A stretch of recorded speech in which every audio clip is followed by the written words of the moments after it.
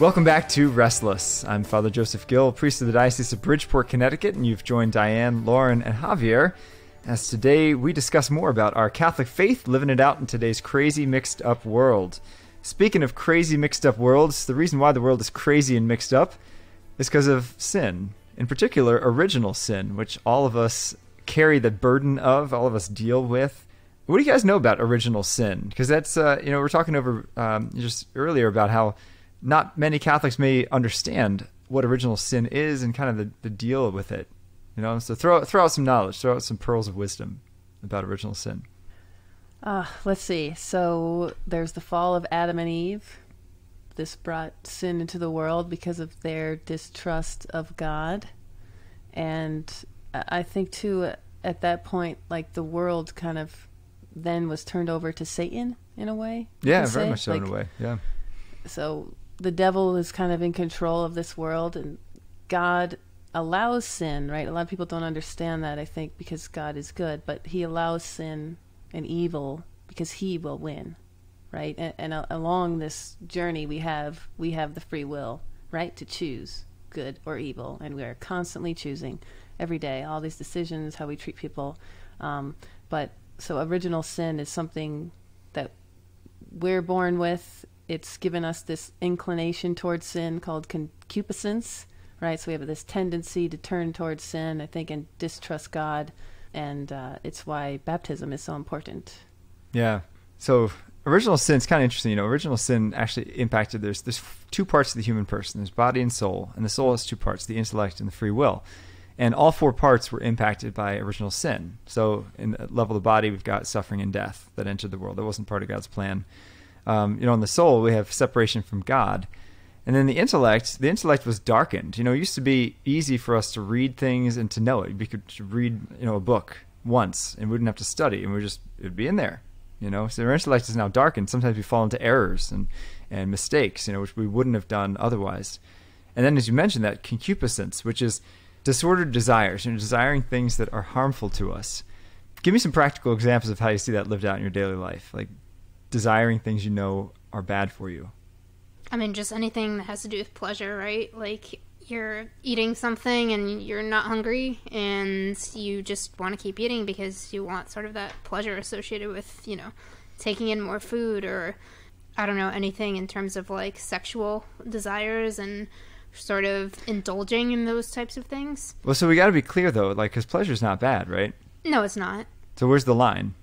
I mean, when you sort of make it into a god, I guess, or like use it to in a way that God didn't intend for you to use something, or for selfish selfish reasons, right? Because we are here for each other, right? To love each other and give love to each other. But when you use pleasure for yourself only, mm. that's when I think it's sinful. Yeah. Someone was uh, this past weekend. I gave a homily about how our little choices matter. And I used the example of like walking past past the break room at work where there was a donut sitting out, and you're kind of like, well, I don't know, like should I ha- eat the donut? Should I not eat the donut? And I was kind of giving the example that like if you don't eat the donut, you've strengthened your will, you know, to be able to choose the good. So this guy emails me and he says, you know, I kind of took from your homily that like pleasure is bad and we should avoid it. And I was like, oh no, that's not what I meant at all, you know.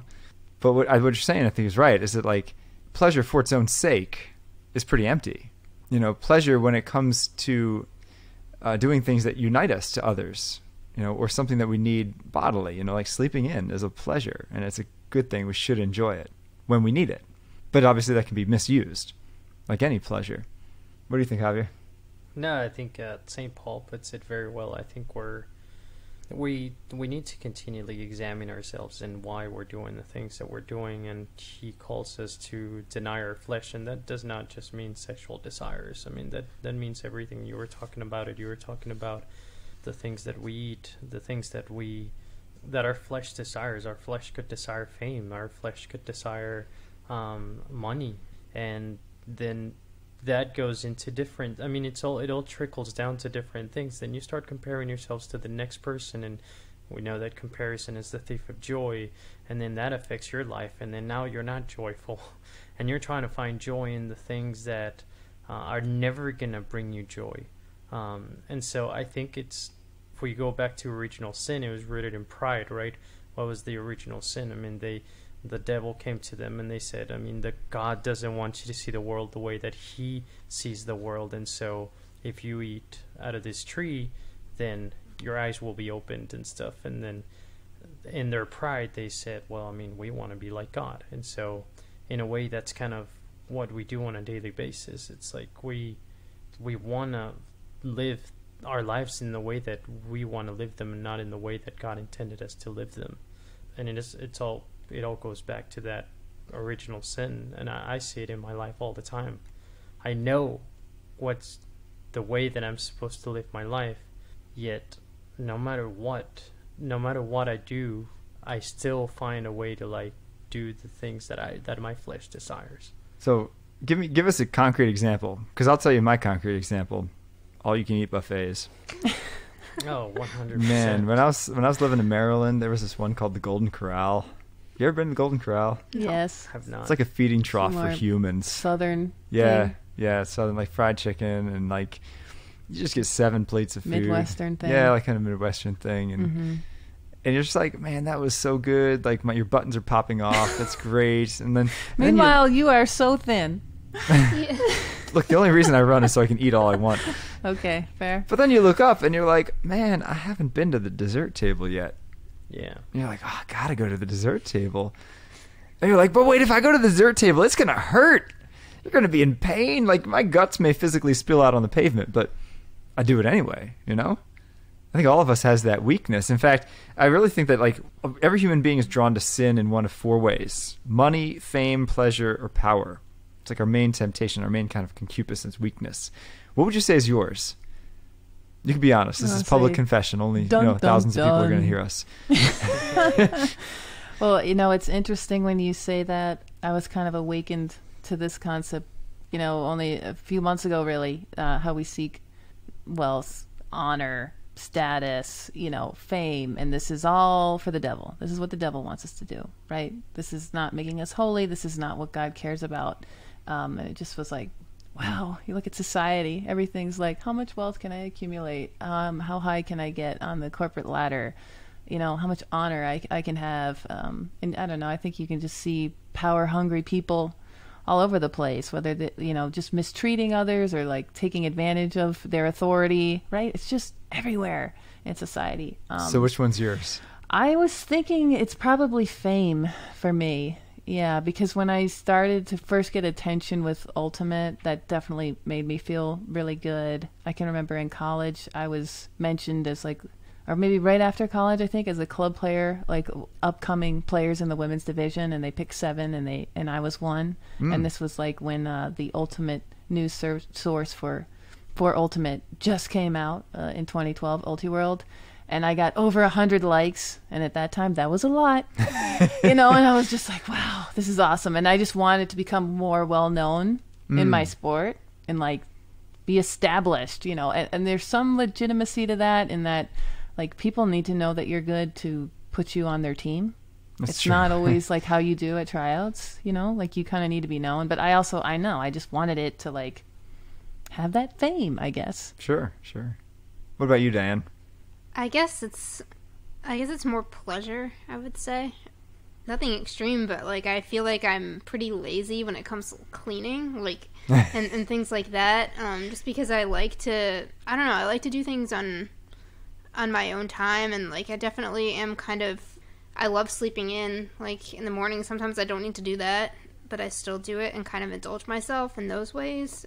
But I don't know, I think the biggest I guess sin that I struggle with, I don't think it I don't know what category it falls into, but it's kind of just like making an idol of my like the plans that I have for my life and the way I want things to go as opposed to sort of like accepting what God's will is for my life and what that could entail.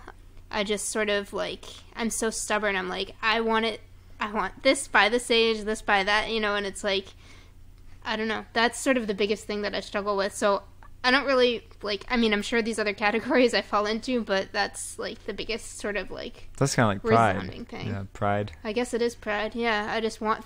I want to do things my way, and I'm trying to. That reminds me of a Frank Sinatra song. I did it my way.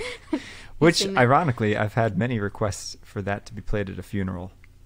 Oh, okay. Well, I don't want that Which- played at my funeral, That's so good I hope I won't can let it sort happen of if you over- die before me. Yeah, I, I hope I can overcome this before I die. But it's something that I'm working on that I feel like is uh, just you know my plans for my life, and I need to kind of be open to what God might have in store for me. Yeah, that's why in, in many ways some some of the COVID lockdown was gift a gift Mm-hmm. because we have all these plans and they just came crashing down, and God's like, yeah, that's because your plans are not my plans. Hmm. Yeah, and I think it's good too because it kind of, I mean, at least for myself, like I'm such a routine person. It kind of got me out of my routine. I was like, oh my gosh, I'm not going to be able to go to the gym. Like, what am I going to do? And it's like, well, I discovered all of these, you know, like running outside and all these things that like I wouldn't have been open to if that hadn't happened.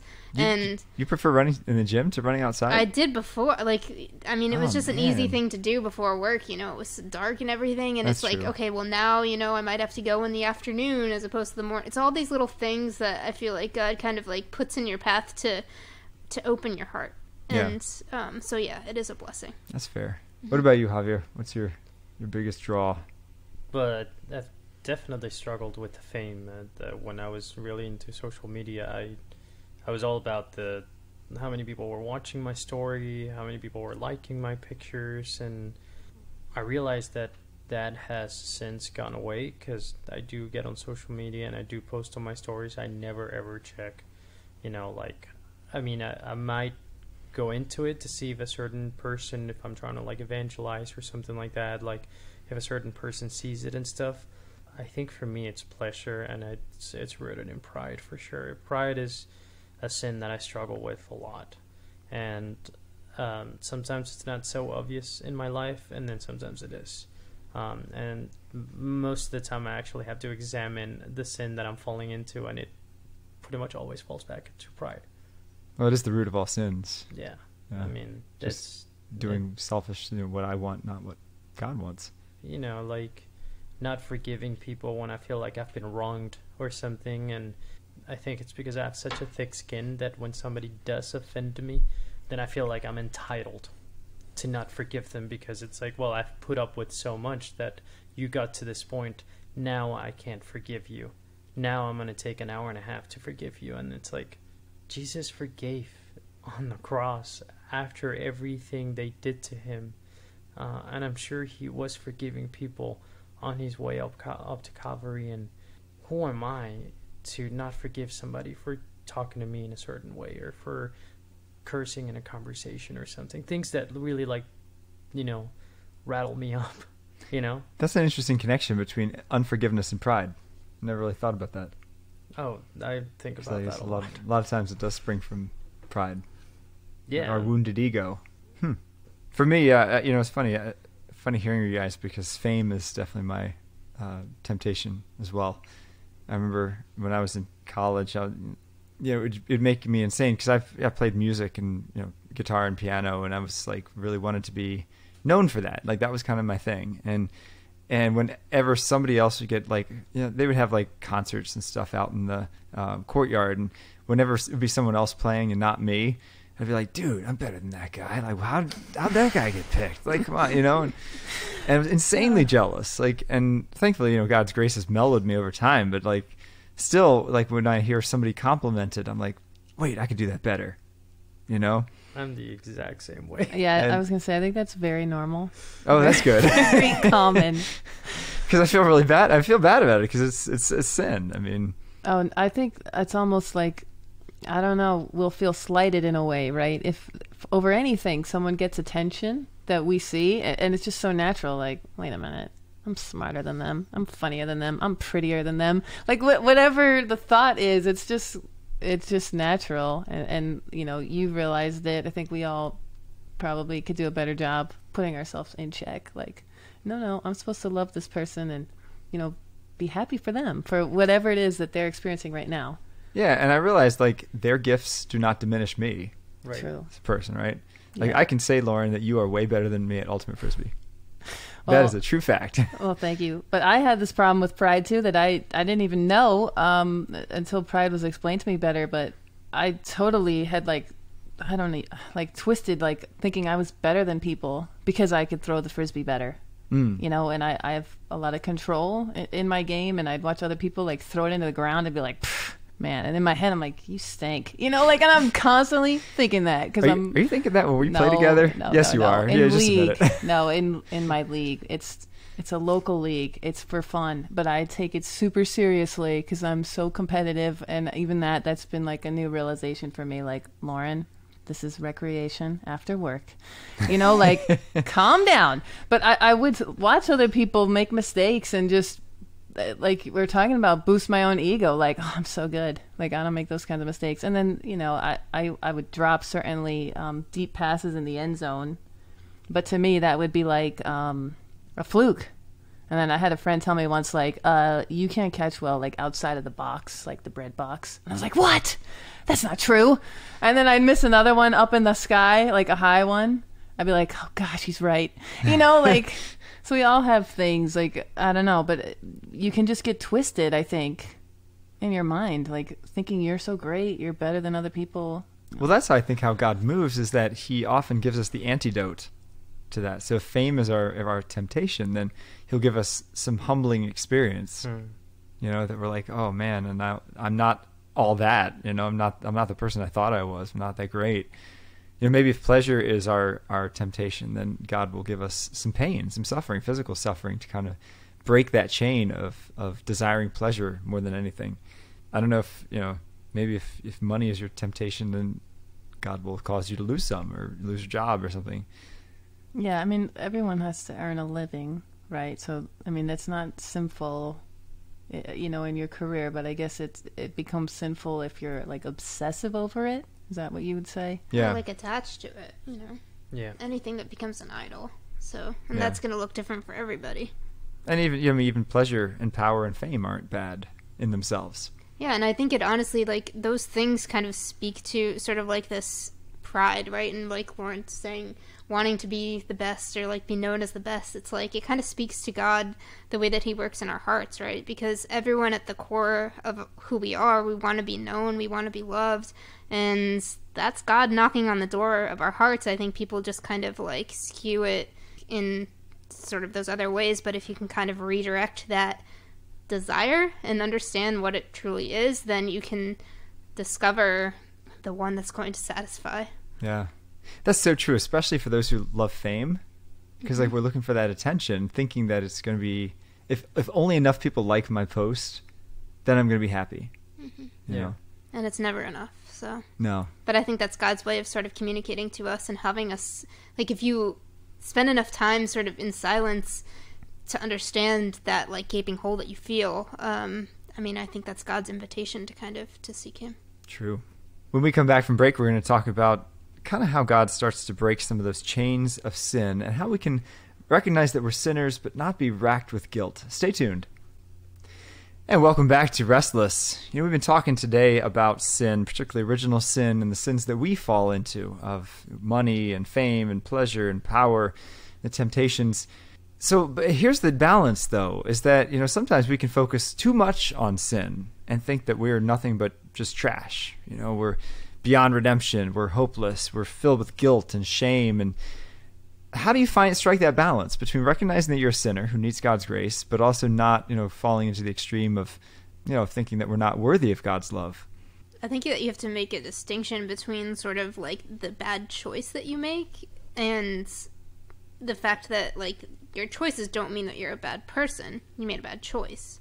And you know, I kind of think of like Peter and Judas. I mean, one repented and one despaired. So I think that there is a fine line of I mean, if you if you believe that you're a bad, like the sin makes you a bad person, you could fall into that sin of despair and desolation and all of that. And um, I think that that is dangerous. Hmm.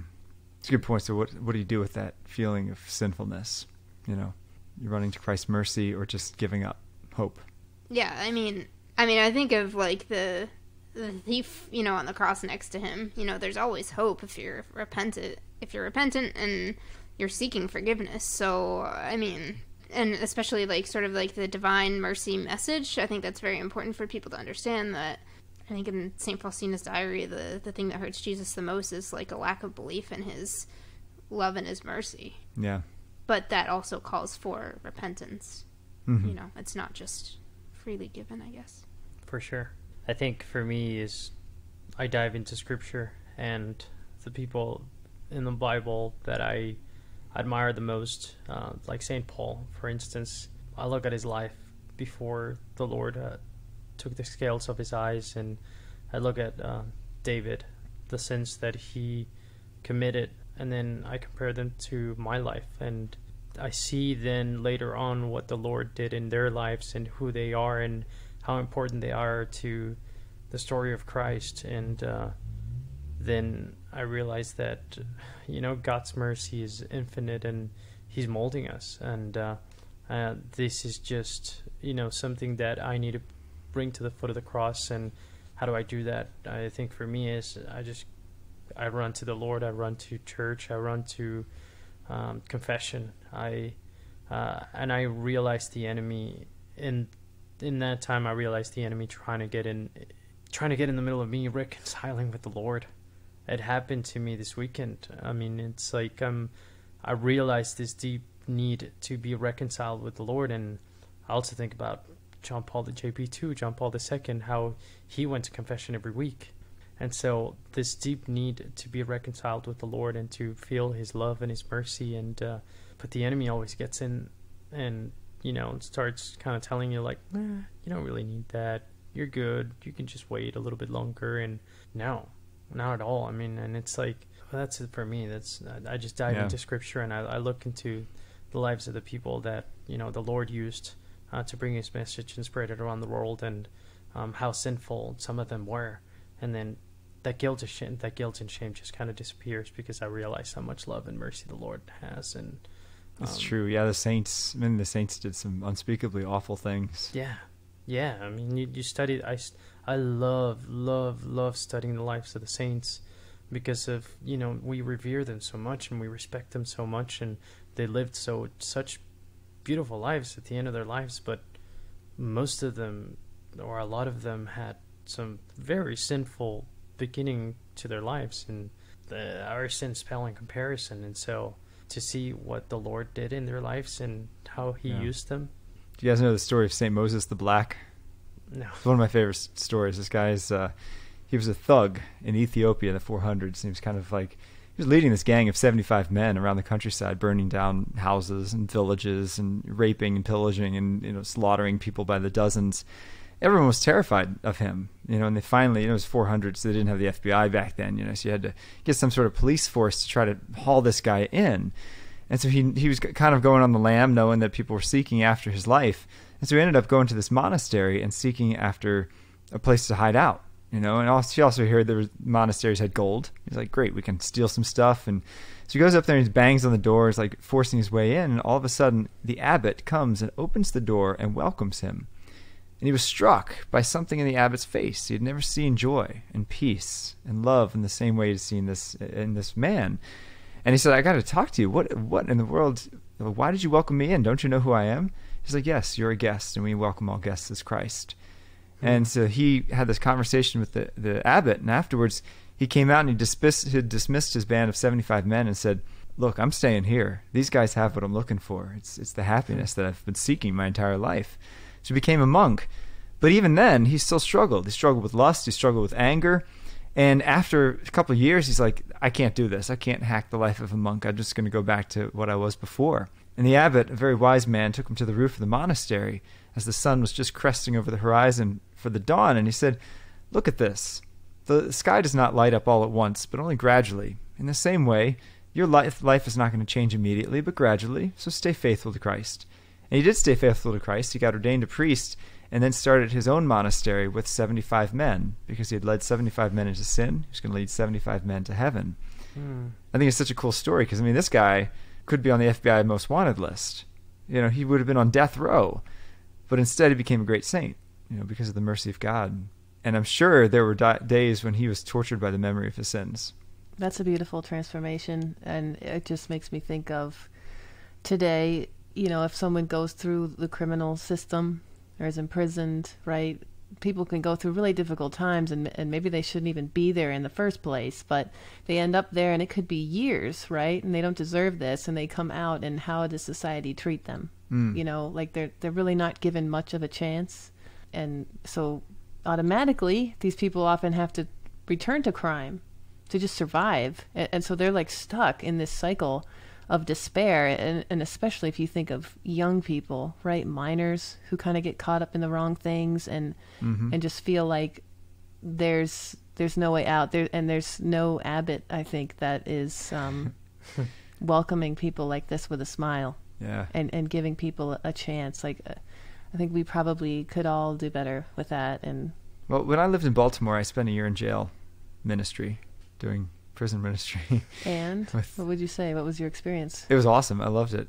I loved it because these were the most some of the genuine people. You know, they had no they they had no pride. You know, they were not puffed up with themselves. They knew they were sinners and they knew they were guilty of sin. But what struck me, I think, the most is that that a lot of their sin is because they were deeply wounded. You know, they didn't just sit there, wake up one morning, and was like, "I think I'm going to rob a bank." You know, it's because they had no fathers in their life. It's because they had no, you know, there's no guidance. They had no church. They had no faith. And then, you know, finally they came to faith in, in prison because I only met with the ones that were faith filled and wanted to meet with a chaplain. mm-hmm. You know, and I was really impressed. Like these these were guys who started to find in Christ everything they were lacking, and because of Christ healing them, they were going to have the strength to go out and return to the world as a changed man or woman. which is beautiful and, and for anyone i don't know who might think like they're not worthy you know or oh i could never be uh, a person religious right? Like you can actually through god right? And it's step by step just bettering yourself whether it's talking to a priest or sitting in mass like whatever slow Just praying slow in your way. room. yeah. adding in more prayer like god is there god loves you so deeply so endlessly right? We we can't feel that now but but we will you know um when we pass on to the spiritual world but god's love is there i think he's constantly seeking us constantly trying to reach out to us uniquely right because we, we all respond differently so he's there and, and he'll help us he'll change us he'll transform us you know it's possible i think to completely turn around Yeah. our lives. Turn away from sin. That's right. and I think connected to that, like, think about the person you love most in your life. Maybe it's your mom or dad, maybe it's your kids or your niece and nephews, whatever, you know, whoever it is. And think about, you know, if they fell into some terrible sin, your heart would not be furious at them. You wouldn't kick them out of your life. You would just say, oh, I love you so much. You know, your heart would break for them and ache for them. And that's that's how God feels about sinners. You know, he's not like, ah, you screwed up again, forget it. He's like, you're my child. Like, I love you so much. Like, I just, my heart aches for you. You know, Mm. come back. And so, thanks so much for joining us on this episode of Restless. We're talking about sin. Here's the deal. Here's your challenge this week: is to to accept God's love and mercy in your life. You know, if you have shame, if you're struggling with guilt from the past, if you're struggling with sin, just open your heart and just right now, in your room, in your car, wherever you are listening to this, you know, just turn to Christ and say, Lord, come and heal me. Come and heal the past. I, I repent of my sin. I seek your face and just come and be the Savior that I need. Right here, right now. He wants to do that for you. Thanks so much for joining us. You can find us on Veritas Catholic Radio, 1350 AM, also wherever you find your podcasts. Look forward to seeing you all next time.